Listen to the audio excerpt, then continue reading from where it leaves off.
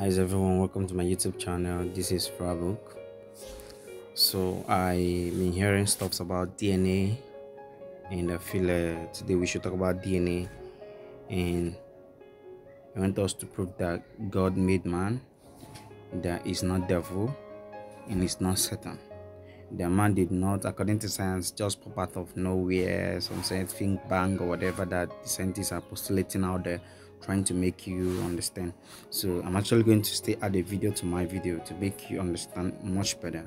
But i want you to understand that since time immemorial the artist's signature has become a key ingredient in the art making process. It signifies the artwork is finished and that the artist is satisfied. Now according to the bible on the sixth day of creation god created man in his own image and proclaimed that the work is very good. Ostensibly he didn't sign his work but on the contrary, like most scientists will want to believe that God did not sign his work, which is us. God did actually sign his work. We he, he he signed his work in our DNA. It's written down in our DNA. Now, I, have always had an interesting thought. It occurred to me that on the contrary, God did sign his work. He did so majestically with finality and breathtaking power. Um, the amount of information in the human body is outright staggering the human body has an average of 100 trillion cells. I hope you know that. It has an average of 100 trillion cells. In a single cell, the DNA the DNA contains the information equivalent of roughly 8,000 books. A single cell, the DNA contains an information of about 8,000 books. And if the DNA from one cell were uncoiled, it would extend to about 3 meters in length. Thus, if the DNA in an adult human Thus, if the DNA in an adult human we are strung together, it will stretch from Earth to the Sun and back roughly 70 times. The DNA was tied like a rope that is going to run from this Earth for a single person to the Sun and back 70 times. That's the amount of information in a human being.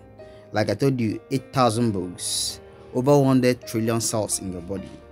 And inside that dna god signed his signature. Now i'm going to attach a video to make you understand this thing much better. So you don't you don't so you stop listening to men that, that don't believe in god that don't that tells you that there is no god. That you just popped out of something or a sand or you came from it there is no such thing. God made you and god signed his work. Every artist signed his own work. God did sign his work God's true name is recorded within our DNA. So let me go ahead and explain. Our chains of DNA contain four nucleotide base pairs called adenine, guanine, thymine, and cytosine. And then there's a unit within the DNA strand called a sulfuric bridge. This sulfuric bridge holds our entire DNA strand together, and it only appears after every 10 nucleic acids have been laid down, and then after every 5 nucleic acids, and then after every 6, and then again after every 5 nucleic acids. So we get this repeating numerical value of 10565 within our DNA strand. Well, it turns out the biblical name of God, Yahweh, contains the same numerical value as our DNA strand. Yod He Vav He, 10, 5, 6, 5. What's even more interesting is that if you take the Hebrew name of God, Yahweh, and place it on its side, you get the image of a human being. Don't forget that the full meaning of DNA is deoxyribonucleic acid. It's a polymer, actually, composed of two polynucleotide chains that coil around each other to form a double helix.